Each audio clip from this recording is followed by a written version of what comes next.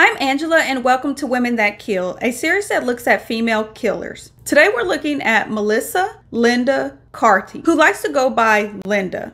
Linda, who is 42, was dating a much younger man who wanted a family. Linda could no longer have children. But in a desperate act to keep her boyfriend, Linda lied to him and said she was pregnant. But eventually, at the end of nine months, she had to produce a baby. And that is when she saw Joana Rodriguez and her newborn son. Linda's motive was to steal Joana's baby.